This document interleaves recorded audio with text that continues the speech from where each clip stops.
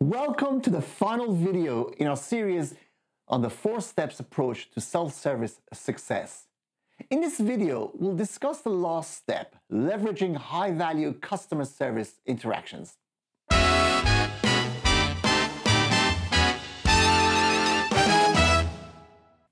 Once you've analyzed and eliminated root causes and implemented automation, it is time to focus on interactions that truly matter. High value interactions are those that have potential to drive significant improvements in business efficiency, productivity, and capability. By leveraging these interactions, you can maximize the impact of your customer service efforts and better support your organization's goals.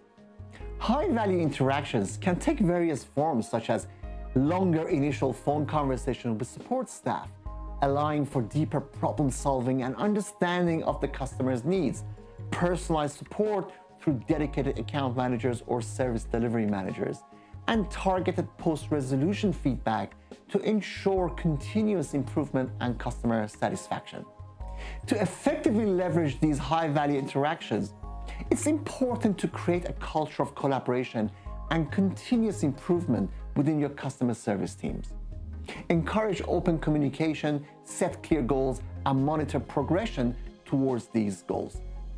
Incorporating the leverage step into your self-service strategy ensures that your customer service team is focused on driving organization success.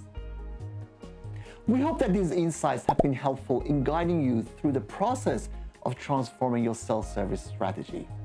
By following these four steps, you'll be well on your way to providing exceptional customer service that exceeds your customers' expectations. Thank you for joining us on this journey and good luck with your self-service transformation. If you want to hear more, why don't you join us on www.fusiongbs.com.